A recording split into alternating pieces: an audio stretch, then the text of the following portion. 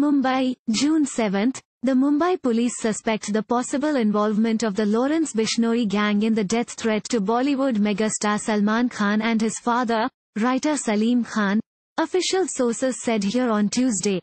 As a precaution, Mumbai police have beefed up security at the Khan's residence in Galaxy Apartments, Bandra West since Sunday while Joint Commissioner of Police Vishwas Nangre Patil met Home Minister Dilip Walse Patil to brief him on the case.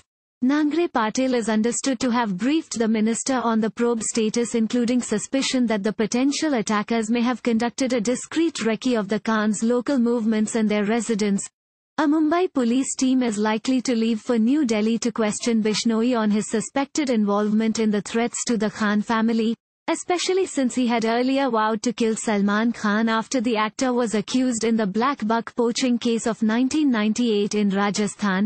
In the current case, police said that Salim Khan, 87, was handed over an unsigned, handwritten threat letter by one unknown person on a bench where he normally rests after jogging at the Bandra Bandstand Promenade, around 7.30 am on Sunday.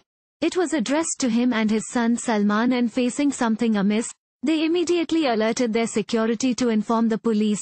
Taking serious cognizance, the Bandra police have lodged a first information report against unknown persons for issuing the death threats and launched their probe even as the Mumbai Police Crime Branch also started its own investigations.